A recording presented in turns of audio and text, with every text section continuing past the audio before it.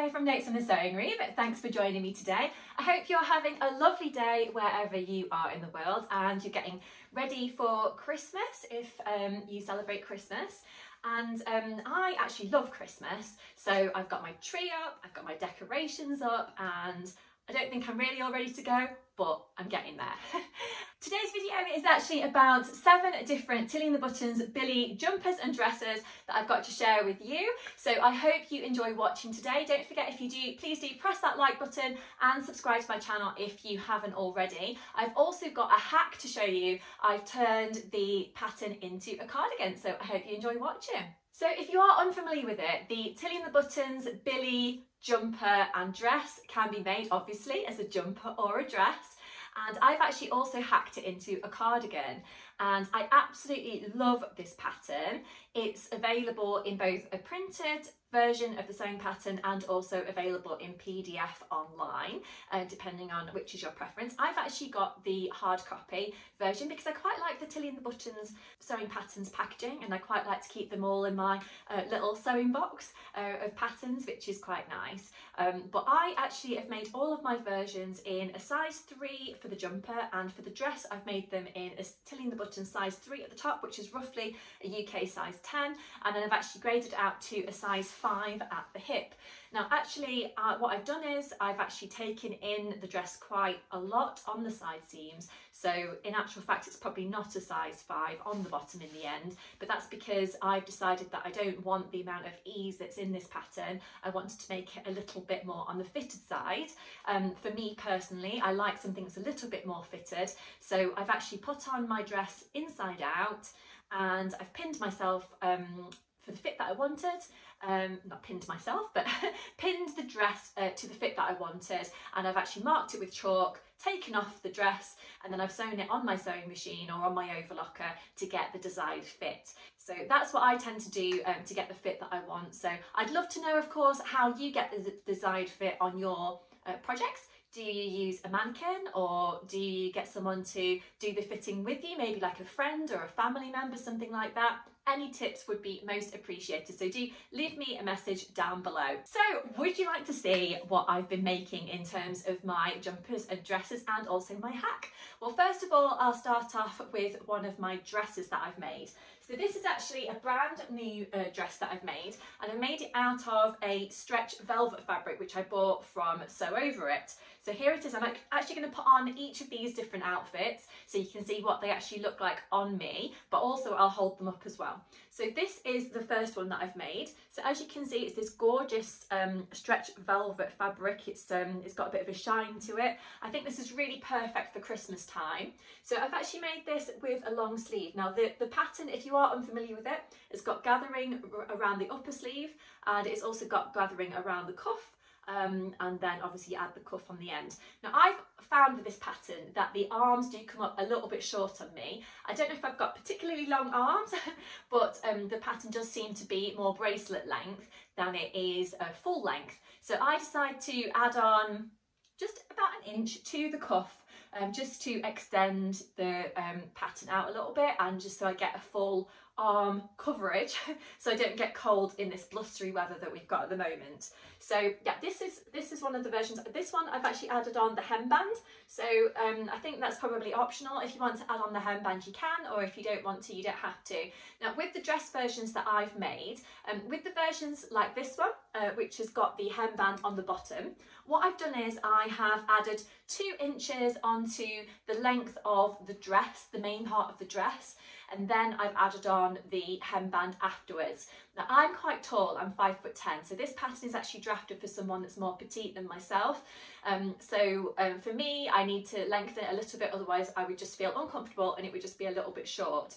So uh, for me, adding on the two inches um, to the main part of the dress and then adding on the hemband seems to work quite well. Now, one of the versions that I've actually made, um, I've not added the hemband on, and in that case, I've actually added about four inches onto um, the length of the dress instead. Another change that I've made to this dress is actually to lower the neckline slightly. So in each of my different versions, I have actually lowered it in a slightly different way. But one of the things that I do is I actually just draw um, a line on the pattern piece. So I kind of measure how low I want the neckline to be. I make a, a mark and then I just literally draw a curved line back up to the shoulder. So in this case, I've actually lowered the neckline by around two inches, um, but on some of my other versions, I've actually done something slightly different, which you will see shortly. So as you can see, I've got this dress on. I really like this one. I've just been on holiday with my family and I wanted to make this dress to take away with me because I just thought, like I said, it's kind of Christmassy, a little bit festive, and I just thought it would also keep me quite warm because we've got these gorgeous snuggly arms. And this is quite a thick ish fabric as well. And um, you can probably see my t-shirt underneath I'm really cold today. So I'm trying to keep a little bit warm. Um, but yeah this this is a really gorgeous dress. I'm just to scan my camera back a little bit so that you can see and uh, see what the overall fit is like. And as I said um, I've um, just kind of brought in the fit on myself a little bit at the side seams as well. So this is what the dress looks like overall I will put in a picture as well so you can see uh, the full length if you can't quite get that here. You can see it comes to um, just above my knees, uh, which is quite a nice one. It's actually the first time that I've ever worked with a stretch velvet. I'm not sure if I enjoyed it particularly because it did kind of move around quite a lot on my sewing machine um, or overlocker should I say. I did uh, make most of this on my overlocker. I tend to do the gathering sections uh, for the upper sleeve and also the cuff on my sewing machine. First of all because I find that to be a little bit easier. And then I go onto my overlocker just to kind of finish off the edges on the inside and make it look nice and smart. I always think it's interesting to work with a different type of fabric and for me um, you know this this was a new one. Uh, I'm really pleased with the overall result um, although I did do a little bit of cursing um, during the making process just because I did find it um, a little bit tricky. Um, but it's um, a really nice finish in the end. Do let me know if you like this pattern and if you like a particular version of the dresses and jumpers that I'm showing you today in the comment section below. I always enjoy hearing from you so any messages you'd like to leave me would be amazing also, um, I'd love to know if you are making anything else at the moment, maybe for yourself or a gift for someone for Christmas, anything like that. I'm always inspired to hear about uh, what you're working on as well. So I'll put my next one on. So this is the next version that I wanted to share with you. So this is actually another dress and I've made this out of a waffle jersey. So this is also a different fabric that I've not really used before. Um, if I come a little bit closer, you'll be able to see the print of it. So this actually came in a Sew Hayley Jane subscription box um, a few months ago, and I was really keen to use it for something that I would get quite a lot of wear out of, just because I thought it's quite a nice of practical type of fabric. I really like the print of it. It's got this kind of ditsy print on there, um, and I just thought it would work perfectly for a billie dress. So as you can see, I've actually lowered the neckline a little bit more on this version. So I've probably lowered this one by about three or four inches um, just to get my desired fit. And then of course I've extended the neckband to go on there as well. Um, again, I've got the gathered bit at the shoulder and then into the cuff as well. Um, this one, um, I would say kind of stretches out a little bit when I'm wearing it, um, but I think it's just the type of fabric that it is, to be honest. But um, it's a lovely dress and it's probably a little bit more on the casual side than the other version that I just showed you. But again it's a lovely one. Um, I finished this version a few weeks ago and I've worn it out a couple of times but I think it's going to be perfect for you know going to the office, working from home, just kind of like you know doing whatever really. It's quite a nice um, lovely casual dress that I can layer up with a nice chunky cardigan. So I'll just show you the length of this one and um, see what you think. Please excuse my blue t-shirt underneath here. As I said, I'm just keeping warm today. So as you can see, I've kind of just uh, brought this in slightly just to give myself a little bit more shaping um, at the side seam. Again, I've got the hemband on this one. And um, this one is probably slightly shorter, I'm not quite sure why, um, but it's um, just above my knees here as well. Um, but I really like this one if I show you the back. I'll probably get more wear out of this one than the red one, I think, but just because of the type of fabric that it is. I'm sure I'm definitely going to make more of dress versions. I've got a couple of completely different dress versions to show you shortly, so stay tuned for that. Now the nice thing about this pattern is that I think depending on what fabric you actually use, it can look completely different. So I'd like to think that all of my versions do look, um, you know, quite different. So um, do let me know what you think. But this is a jumper version. So I've actually made this into a cropped jumper. I love a crop jumper and a crop cardigan. So um, I just thought, why not? Let's turn this into a cropped version. So all I did was I looked at the pattern piece and I looked where the waistline actually fell. Then I cut off uh, the pattern at that point and then added on the, um, the waistband just to fit um, the, uh, the length of where it actually cut off my pattern piece too. Um, so you'll see what I mean. So this is actually um, a French terry fabric which I've got here which is actually a remnant piece. It's beautifully soft, it's got a nice little flower print on it and this light pink background so I love that as soon as I saw it. I think I got that from Guthrie and Ghani perhaps at some point in a remnant bin. So as you can see, I've used that for the arms and I've used that for the lovely neckband and also the hemband, which we'll see in a second. And then the main part of the body, I've actually used a Ponte fabric. So again, that was left over from another project and I just wanted to use it up. Um, so I was putting it to good use really. So um, let me scan down so you can see this jumper. So this has actually been made in a size three, as I said previously. Um, so let's scan you down so you can see. So as you can see, I'm, I'm wearing a, a little denim skirt here, which is quite high-waisted. So, and the jumper just fits to the top of my skirt, which I think is quite nice. Um, it also means I can layer it up with a thicker cardigan over the top or a jacket and just keep nice and snuggly. So um, I wear quite a lot of things that are high-waisted, so skirts and whatnot. So um, I, I also think this would look quite nice over a dress or maybe some high-waisted trousers. Um, so yes, this is the next version that I wanted to share with you. I hope you like it. The next version that I wanted to share with you is actually a hack. So this is a cardigan, as you can see. So um, this is made out of a Ponte fabric as well. It's got a kind of animal type print on there, if you can see that. And I bought this from a shop called Sally Twinkles. Um, you can find them online. I think they're on Facebook as well.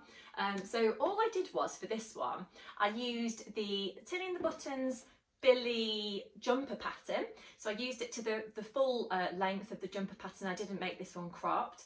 And then I actually used the shaping and the neckband from the Tilly and the Buttons Bertha cardigan. I kind of merged the two together. So I think it's actually worked quite nicely. So I've kept all of the other details. We've still got the nice gathering into the sleeve. This version is actually a little bit shorter on the arm um, because when I made this one, I didn't really realise that I needed to extend the arm piece or the cuff uh, or something like that. So it, it is a little bit more bracelet length, but I don't really mind to be honest. Um, but this is a lovely one that can be worn with so many different things. I think it's because of the colourway of the fabric. It just goes with so many different bits and pieces in my um, handmade wardrobe really. So let me scan you down so you can see the overall length. I would definitely like to have a go at doing another hack perhaps of this um, pattern. And I think that the cardigan you know, it's a really good piece to make. So I would definitely recommend you giving the cardigan a go if you were thinking about doing some sort of hack for this pattern. Um, let me just scan you down. So as you can see, this one is more like hip length, I suppose. Um, you can see the back. I quite like the fit at the back. It's not too loose, not too tight either. And I just really like these sleeves. On, on each of the versions that I've made, the sleeves are a real highlight for me, to be honest. Um, but yeah, this one just goes with lots of different things, can be dressed up or dressed down. Um, I think I made pretty much most of this again on my overlocker, just apart from the gathering bits. If you've had a go at doing a hack of the Billie pattern, I'd love to know what you did. So again, just leave me a message down below if you'd like to. Here is my next version. So this is another cropped jumper version. So this one is actually made out of quite a soft sweatshirt type fabric, which I bought from Higgs and Higgs a while ago. So this is actually the first version of the pattern that I tried. As you can see, I've got the original neckband on here. So for me, the height of this uh, neckline is a little bit too much. I don't like things that are too high around my neck. Um, so that's why I've actually lowered the neckline in the, the other versions that I've actually made. Um, again, um, this one has got more of a, a bracelet um, length on the sleeve. Um, I think I must have done this on first. I did the cardigan and just kind of forgot about the sleeves, I'm not sure. Um, but this one is a lovely length. It's a beautiful jumper, this one, just because the, the fabric is so soft on the outside and really snuggly and warm on the inside as well. So um, if you follow me on Instagram or, you know, you're a regular YouTube viewer, um, you'll probably know that I've actually uh, got this fabric in a couple of other colorways as well, which I've made other things out of. Um, so that kind of shows you that I'm a big fan of this fabric. Um, but yes, I, this is probably one of my favourite of my Billie collection. Um, but let me just scan you down so you can see what this one's like overall. Again, I'm wearing it with a high-waisted skirt, um, which I think works quite nicely for me. But again, it would look great with jeans or um, again over a dress or something. As you can see, so this is what it looks like full length. Turn around so you can see the back. Yeah, it's um, it's a lovely pattern, this one definitely one of Tilly's um, great patterns. I, I love so many of Tilly's patterns to be honest. Um, I love the Agnes top, I love the Coco top and dress. Um, yeah, lots of different ones, but this is definitely right up there with one of my favourites at the moment. So this is actually another dress that I've made, but this one you can see I've actually got the original uh, shoulder piece, which has uh, got the gathering, but then I've actually just shortened the sleeve on this one. And instead of adding on a cuff, I've actually inserted some elastic just around, um, just above uh, above my um, elbow area actually. And the reason that I inserted the elastic was because basically I didn't have enough fabric to make this a full length sleeve. So this version is actually a Ponte made in a Ponte fabric uh, which I got from Minerva which has got this gorgeous print on it here. Um, it's a lovely lovely dress and um, this version I've actually not added the hemband onto. So I've actually increased the length of the dress piece by four inches. But I'll just scan you down so you can see what it looks like full length. And this one I feel like is a little bit smarter than my other ones. Um, I do tend to wear it um, into the office and that kind of thing. It looks quite nice with a blazer over the top or more of a smart cardigan um, but yeah this one this one's a real hit for me. It's the first version of the dresses that I made and um, yeah it just kind of got me sold on the pattern I think in terms of it being a dress. So as you can see this one again I've got a similar fit to the other ones um, but it's actually um, I've literally just top stitched it around the hemline there. I've actually done uh, a twin needle stitch all around the hem.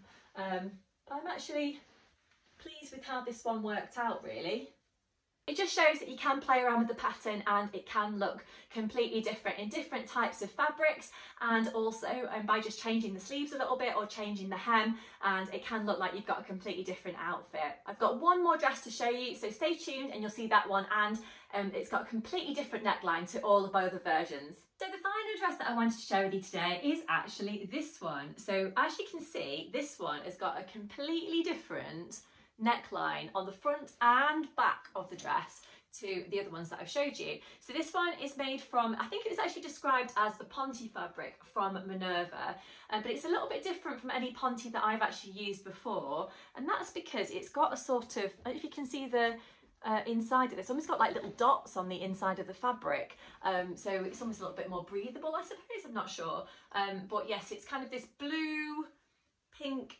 um, black colour on the outside of the fabric and then it's actually white on the inside of the fabric. Now one thing that I would say about this particular fabric is if it's stretched too much you can see um, the white on the inside of the fabric but that's okay because um, this dress doesn't need to stretch too much to actually go on, go on over my head and you know doesn't stretch too much really when I'm wearing it. Um, the stretch just obviously is needed for the garment but it adds to a little bit of extra comfort I suppose when you're wearing it as well. Um, so I'm going to slip this one in on in a second so you can actually see that gorgeous neckline. Now to achieve the neckline on this one um, I actually just cut into the fabric. Um, I kind of drew down from my neckline uh, down to actually where I wanted the deepest part of the um, half moon shape I suppose to actually be or the boat neckline. So say to uh, the heart that I'm just pointing to on my uh, jumper that I'm wearing at the moment um, and then I drew up to um, the shoulder points and basically just kind of drew around that kind of shape if that makes sense. And I did that on the front and back of the fabric to achieve um, that neckline there. And then I extended the neckband of course as well so it fitted all the way around the boat neckline. So I like this one because it is completely different. And as I said I think if you use different types of fabric and you change little details like the neckline or the sleeves or the length or adding a hemband or not adding a hemband, the garment can look so different. Um, I've worn this one quite a lot of time since I've actually made it um, and I've worn it to work and I've worn it just kind of out and about with trainers, uh, which I think looks quite nice as well. I tend to wear trainers with most things, I'll be honest. Um, I do like my comfort, um, but um, you could wear it with heels and whatnot as well and it would look really stylish, I think. So this one has actually got the hemband around the bottom of the garment. Um, it's a similar length to the other ones that I've made. Um, the main difference is just the, the changing up of, of the neckline. So let me slip it on and then you can see what it looks like. So here it is. This is my next dress that I want to show you. So um, my hair looks a bit crazy actually because I keep taking off and putting on things. Um, but as you can see, I've actually got my blue t-shirt on still underneath. Uh, but you can see that this is actually quite a sweeping neckline there, which is a little bit different and quite pretty, I think. If I show you the back, you can see how deep the back is as well. Um, it's a lovely dress. Um, I highly recommend, as I said, trying this pattern and just change up a few little details to uh, make it look quite different. Um, let me scan down and then you can see what the dress looks like overall on me. This uh, fabric uh, was given to me for free uh, by Minerva as part of their brand ambassador programme. So you can probably see there again, this one comes to um, just around my knee area, which is quite nice. And I think it looks quite nice having that hemband on there as well. Um, it's a lovely dress. Um, really like this one. So I hope you've enjoyed seeing all of the different outfits I've had to show you today and enjoying seeing my, um, and you've enjoyed seeing my whole collection of uh, the Tilly and the Buttons Billie pattern that I've made. If you've made it, as I said, I'd love to know how you found the pattern, what kind of fabric you used, if you made any changes or not, and I'd love to know what you're working on at the moment in terms of your sewing projects, so do leave me any messages you'd like to down below. Um, if you have enjoyed watching today's video, I would love it if you could press that like button and subscribe to my channel if you haven't already.